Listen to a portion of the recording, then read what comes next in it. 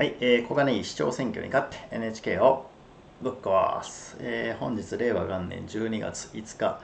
木曜日。時間は23時47分です。NHK から国民を守ると参議院議員の浜田聡です、えー、よろしくお願いします。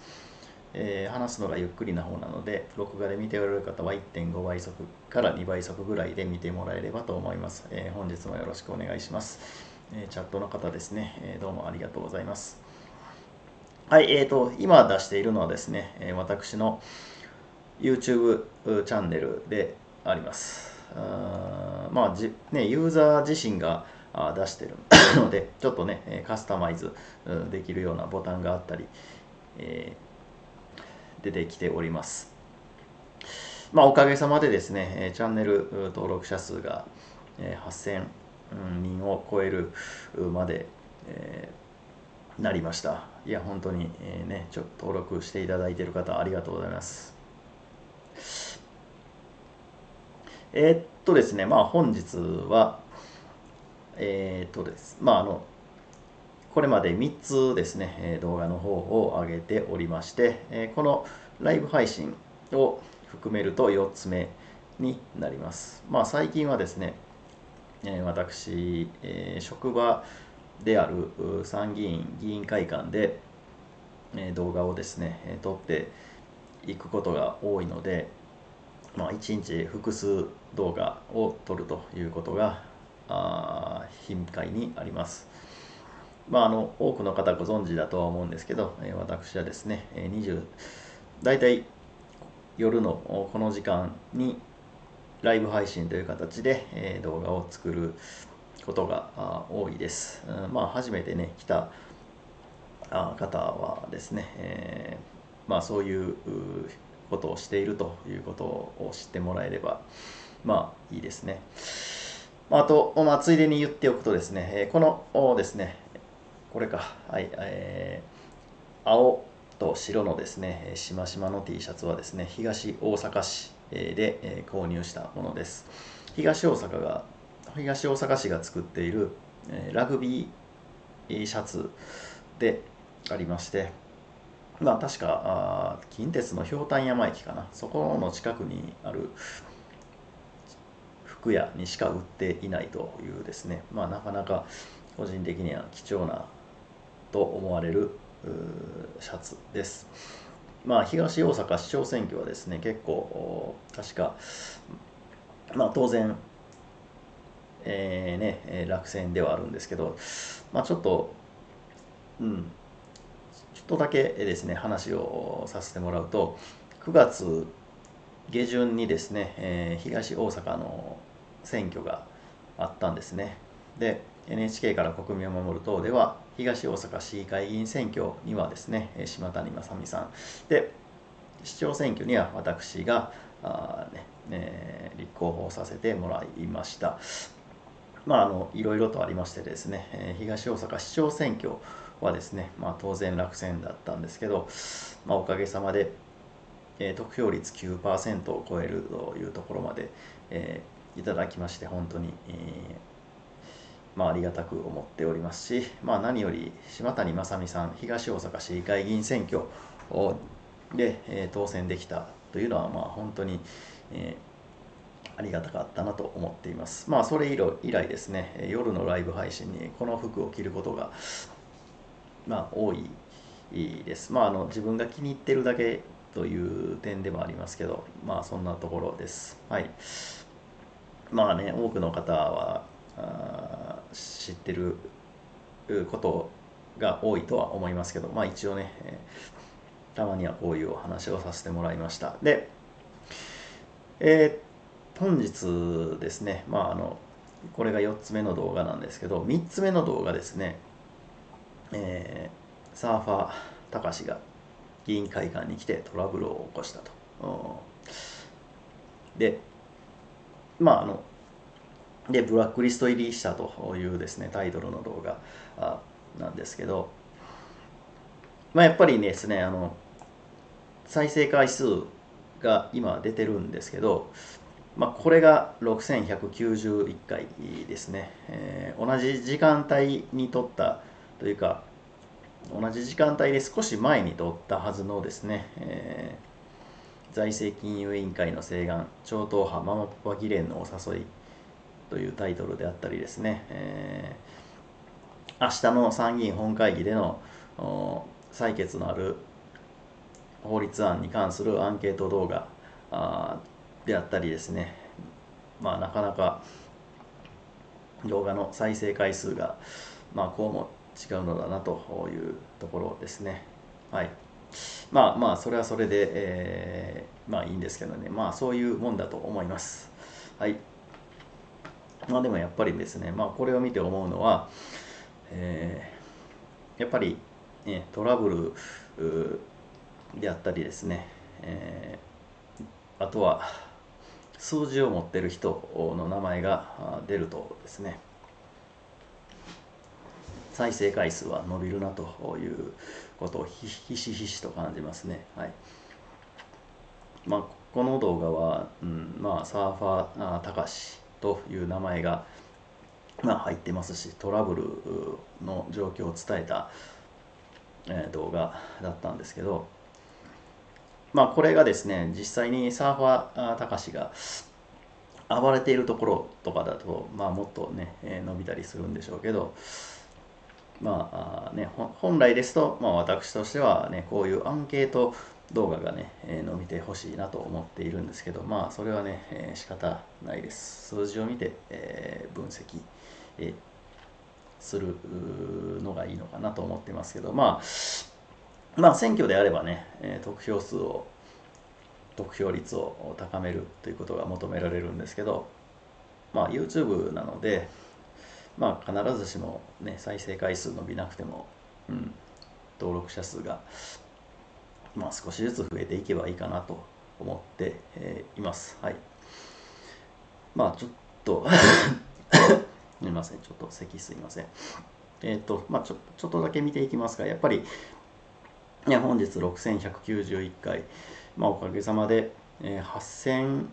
人のチャンネル登録者数、自分の今チャンネル、いるんですけどなかなかですねチャンネル登録者数を超えるような再生回数の動画っていうのが、うん、なかなか出なくなっちゃいましたがまああそこはまあ仕方ないですね。まあ、立花投手もですね、えー、なかなか、えー、チャンネル登録者数50万人超えてますけど、50万再生回数超える動画っていうのは結構難しいんだなと感じました。はい。まあ、というわけでですね、えー、まあ、そういうのは、そういうもんかなとは思いますけど、はい。まあ、そういう意味ではね、ヒカキンさんとか、すごいですよね。チャンネル登録者数を超えるような、に近いような動画をコンタコンスタントに出してるような感じしますので、まあ、やっぱりちょっと、はい、今、見直してみるんですけど、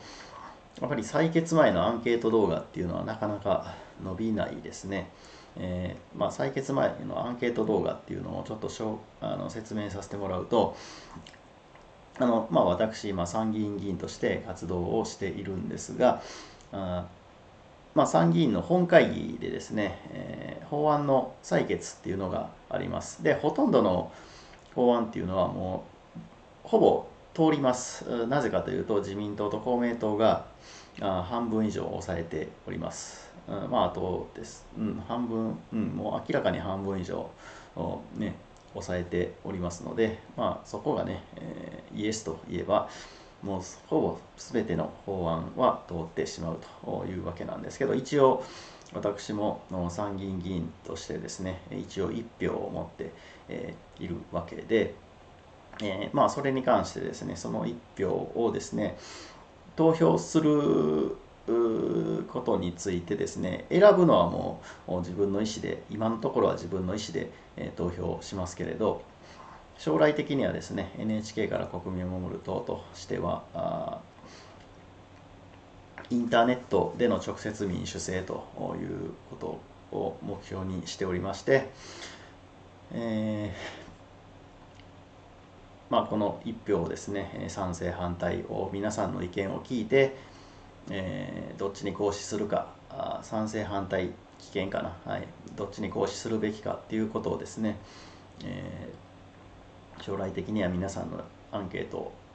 意見を募ってやっていこうという動きであります。まあそのための準備ではあります。はい。まあでもこのアンケート動画の伸びがね、なかなか低いですけど、まあそれはそれでね、仕方ないです。はい。まあでも投票していただいた方ありがとうございます。まあ1000、回いけばまあ上出来な方かなと思います。はい。えー、っとですね、まあ最近だと、まああと動画の再生回数で最近結構伸びたあものですと、そうですね、立法準備に関して、これが伸びたのは、まあ、ありがたいなと思いますね。やっぱり、えー、NHK から国民を守る党として、まあ、最終的にはね、スクランブル化できればというところで、え、この動画は何かというと、参議院の法制局にの職員の方にお願いしてですね、え、BS のスクランブル化であったり、あとはワンセグのですね、えー、対応ですね、ワンセグはおそらくスクランブル化って基本的には難しいとは思うんですね、技術的にえ。なので、でも画質は明らかに悪いので、料金をなんとか変更できないかとかですね、そういうところをですね、参議院の法制局とですね、相談してどういうふうに法律改正案作ればいいですかみたいなところをですね相談してその報告をしている動画でした。はい。うん。まあ、あと、そうか。あはい。まあ、いや、ちょっといろいろ話ぼやけるんで、ちょっとやめときますけど、すいません。そうですね。まあ、これは1万、1.8万回視聴でなかなか多いですし、あとは、そうですね。NHK 経営委員人事の反対票が大幅増加みたいなね、えー動画もですね、まあ、よく見ていただいて、えー、ありがとうございます。はい、とはまあちょっとね本当に、えー、チャットの方たくさんのコメントありがとうございます。はい、えーとあとはですね、えー、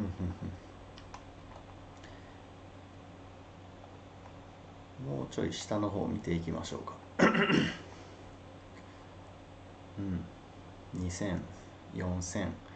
えー、あ、そうですね。あと、これも結構伸びてますね。えーえー、本会議のやじ、えー、渡辺義美議員からのアドバイス、丸山穂高あ議員の反撃というですね、えー、タイトルです。やっぱりですね、この動画、伸びてる原因は、まあ、タイトルがやっぱりでかいんだなと思いますね。渡辺義美、えー、丸山穂高というですね、えー、まあ、どちらもですね、超大物の国会議員の名前が出ているというのは非常に大きいんじゃないかなと思います。はい。うん。えー、っと、えー、まあチャットのコメントもですね、いろいろとありがとうございます。まあちょっとね、あのみんなの党になった時にですね、えー、まあ、どうしていくのかということについては、まあ、議論のしどころが、まあ、あるかなと思います。まあそうですね、難しいところはあるとは思うんですけど、まあそこはね、えー、渡辺